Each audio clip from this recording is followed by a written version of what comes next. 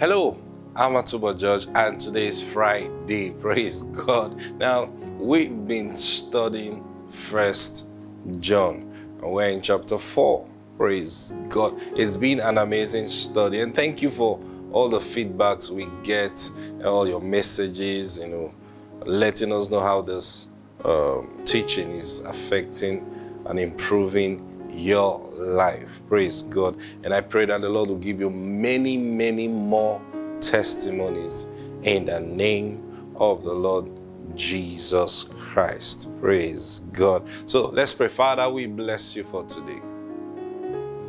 Your will is being made known in our hearts as we follow your truth written in scriptures, Lord. Thank you because today burdens are being lifted, yokes are being destroyed right now. In the name of the Lord Jesus Christ, fill our hearts with your truth and your love. In Jesus' name, amen. Praise God. Now, First John chapter 4 and verse 9. Yesterday we stopped at verse 17. It says, Love has been perfected among us in this, that we may have boldness on the day of judgment. Why?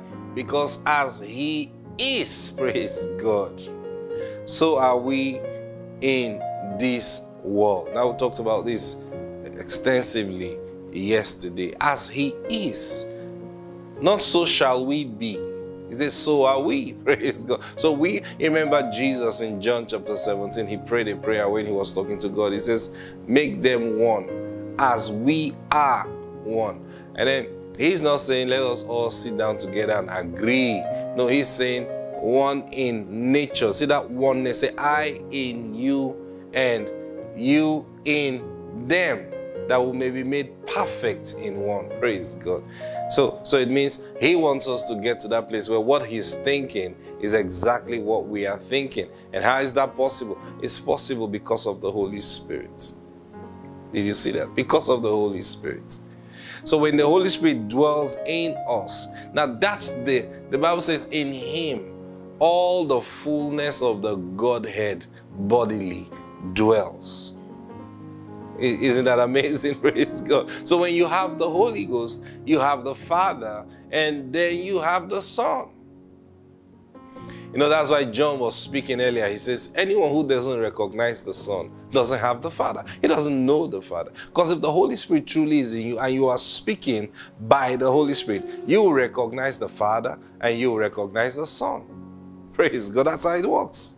Because that's what the Holy Spirit does. He testifies of the Father, He testifies of the Son. Thank you, Lord Jesus. Now, verse 18, it says, There is no fear in love. Wow. There is no fear in love. Now, you know, He had already told us God is love. Praise God. So when he says there is no fear in love, he is actually saying there is no fear in God. You can't dwell in the secret place of the Most High. You can't abide under the shadow of the Almighty and then you are scared. Nah, nah, nah. So what's he saying? When you dwell in love, there is no fear there. Oh, thank you, Jesus. So that tells you that when you are scared, you are manifesting the absence of love. When you are scared about anything, when you're scared about your health, you are scared about um, um, accident, you are scared about, you know, whatever you can think about that will cause you to fear. The moment you find yourself scared, you are manifesting the absence of love in your life. You know, one day the Spirit of God spoke to me and He says, You know, in, in Hebrews, He says, He has said, He will never leave you nor forsake you, so that we may boldly say, The Lord is my helper. I will not fear what man, any man will do to me. And then the Lord said to me, say, You know that scripture? I said, Yes. What's the Lord doing in your life? Hmm. He says he will never leave me nor forsake me. So what's he doing in my life? How do I take advantage in his presence in my life? And then I said, Lord, tell me. Praise God. And then this is very sweet, so sweet. He said, I am in your life to always tell you what to do. Whoa, praise God. Now, now that's why we don't get scared of the future. That's why we are not scared of what's going to happen tomorrow. You know why? Because when we get to tomorrow, whatever shows up, He will just tell us what to do. That's what makes us know that we will just be fine. and you understand that? If I have Him, He knows all things. And He's got wisdom because He is wisdom. And He will always be there to tell me what to do. Why should I then let fear into my heart? See, because whatever shows up, he will tell me what to do. He will tell me how to go about it. He will tell me how to escape from any plan that the enemy sets. Even if I find myself roped in that plan, all I need to do see, he is still there. He won't leave me. He won't let me be because, oh, you've entered into an enemy trap, so I'm out of here. No, no. Check, read the Bible. In the book of Acts, several times they arrested the disciples. And when they arrest them, what happens? An angel will come, open the prison door, and get them out. And then you go preach the words of this life, you know, to the people. He will always tell you what to do. Now, I know sometimes you want to think, hey, well, what about people who have uh, died in certain situations? What about people? Isn't that? Listen, listen, listen. I may not be able to tell about your relationship with the Lord. I may not be able to tell. But I know for myself that He is a good God he loves me and He's demonstrated His love towards me. And then what do I do? I will take full advantage of His love and His presence in my life. I'm not going to judge my life based on another person's fate. I'm not going to say, oh, because so so evil happened to so and so person, who then are we? No, sir. I don't know what happened to that person. I don't know why that thing happened to that person. But I know one thing He is good, He is loving, He is caring, and He is always there to tell me what to do.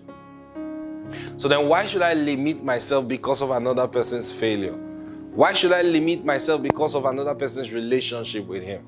No, I'll, I will work on my relationship with Him. I make sure I understand His presence. I make sure I hear His voice and I understand every time He is speaking to me. And guess what? He is always talking.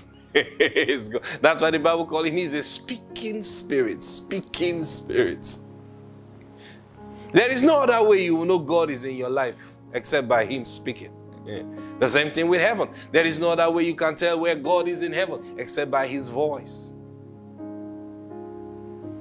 So if he is known by his voice, then it means he is always speaking. If he is always speaking, it means if you don't hear him, it's not his fault, it's your fault.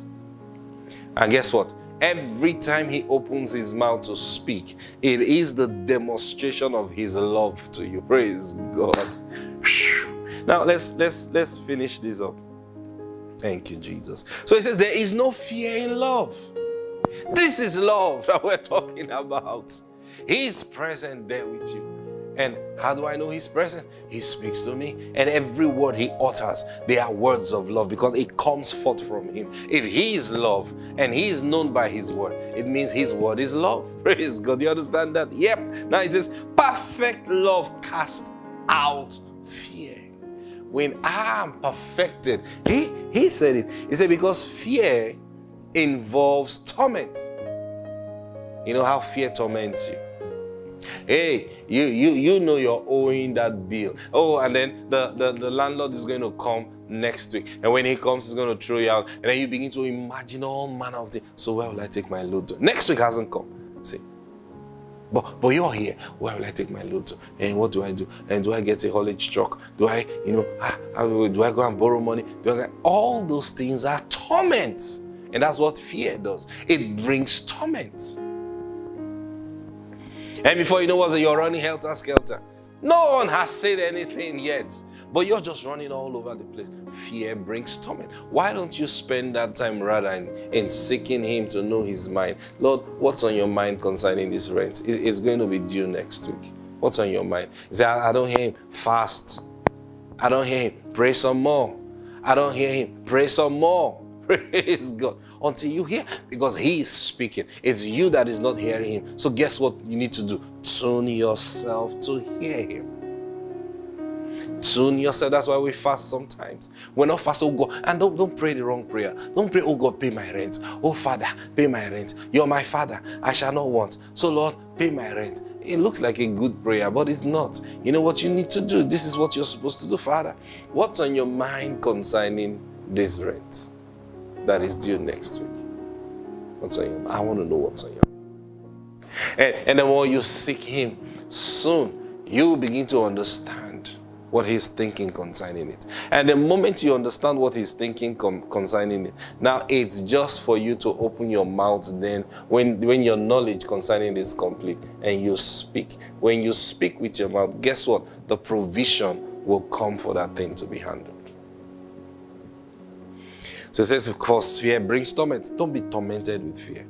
But he who fears has not been made perfect in love. We love him because he first loved us. Isn't that wonderful? So, how do I know he first loved? I told you, his love is expressed through his words. And who spoke to us first? He spoke to us. God. Yeah, he spoke first. And that speaking is the demonstration of his love. So when he says we love him because he first loved, that's why Jesus said, If you love me, keep my word. So which one comes first? The word for you to keep comes first. So he demonstrates his love by speaking first. And you demonstrate your love by keeping what he has said to you. Is that difficult? Praise God. 20. If someone say I love God and hates his brother, he is a liar. For he who does not love his brother whom he has seen, how can he love God whom he had not seen?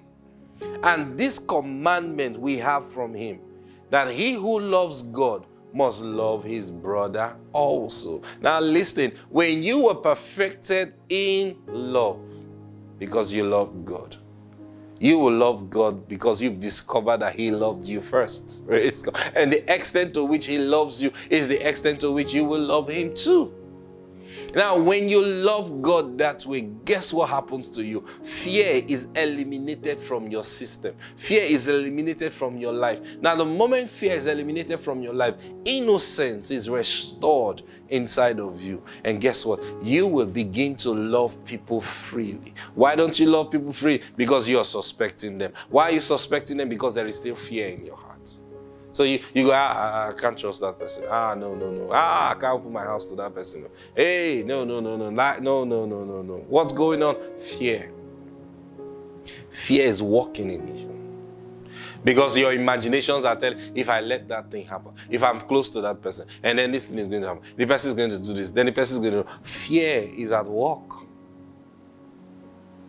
And when that's going on in your life, now, now this doesn't mean you open your house to everybody. You, you understand what I'm saying? What I'm saying is, let the word of God, which is love, rule your decision.